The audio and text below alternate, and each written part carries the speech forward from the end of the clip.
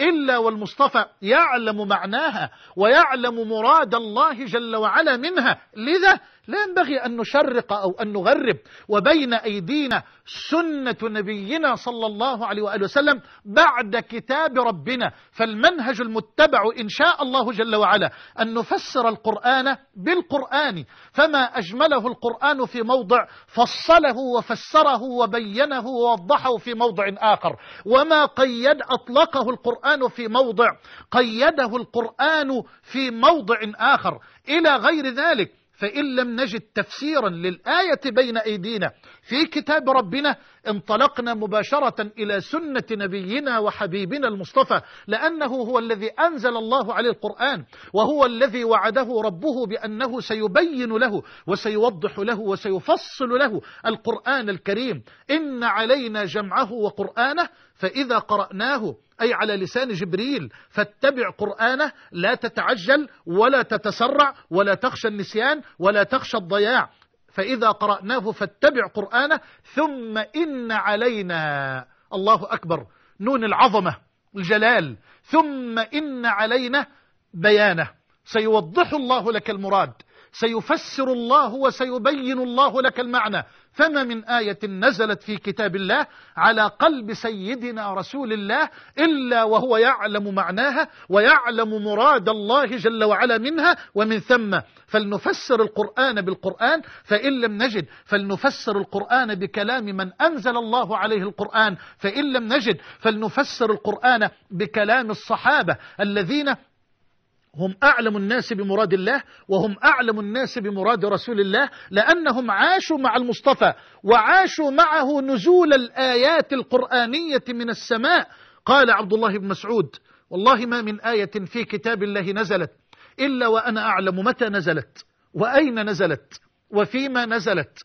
ولو أعلم أحدا من أصحاب رسول الله صلى الله عليه وآله وسلم هو أعلم مني بكتاب الله تبلغه المطايا أي الإبل لركبت إليه. يا له من تواضع ويا له من علم. قال عبد الله بن مسعود رضي الله عنه من كان مستنا فليستن بمن قد مات فإن الحي لا تؤمن عليه الفتنة. أولئك أصحاب محمد صلى الله عليه وآله وسلم كانوا أفضل هذه الأمة أبرها قلوبا وأعمقها علما. وأعمقها علما وأقلها تكلفا اختارهم الله لصحبة نبيه ولإقامة دينه فاعرفوا لهم فضلهم واتبعوهم على آثارهم وتمسكوا بما استطعتم من أخلاقهم وسيرهم فإنهم كانوا على الهدى المستقيم فإنهم كانوا على الهدى المستقيم. يبقى القرآن بالقرآن. فسر القرآن بالقرآن ونفسر القرآن بسنة النبي عليه الصلاة والسلام ونفسر القرآن بأصحاب كلام أصحاب رسول الله صلى الله عليه وسلم فإن لم نجد عدنا إلى لغة العرب فبها أنزل الله القرآن.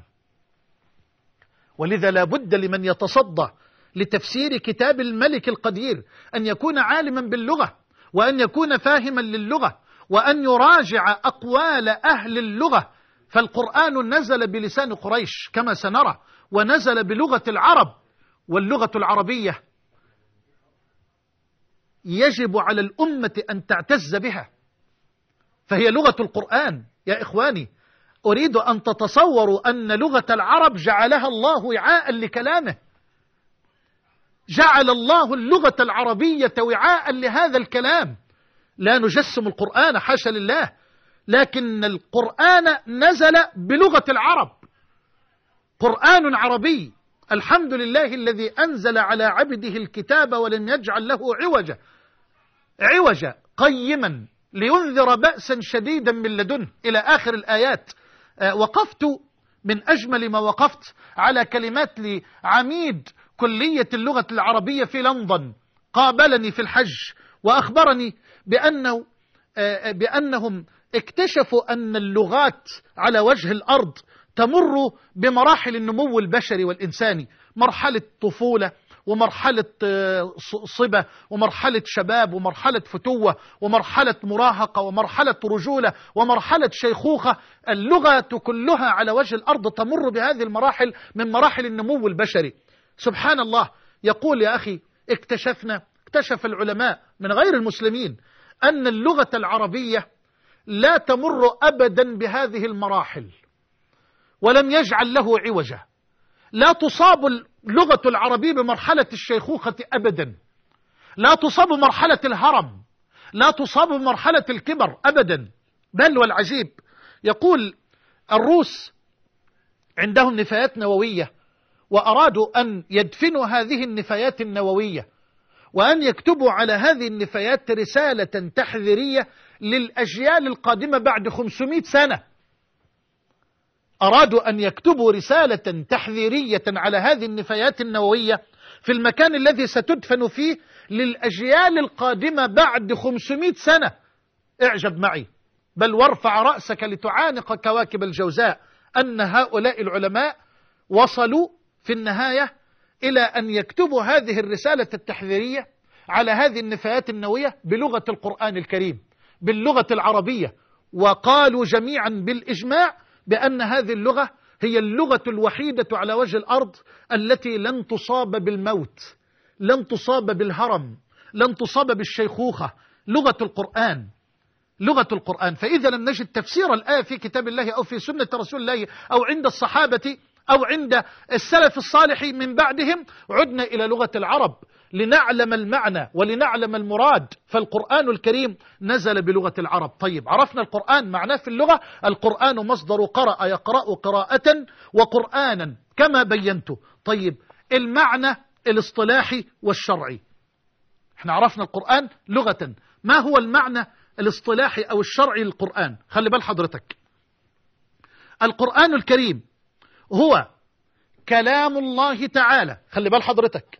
القرآن الكريم هو كلام الله تعالى المنزل على عبده ورسوله المصطفى صلى الله عليه وآله وسلم المعجز بلفظه ومعناه المتحدى بأقصر صورة منه المتعبد بتلاوته المنقول إلينا بطريق التواتر المكتوب في المصاحف من سورة الفاتحة إلى سورة الناس.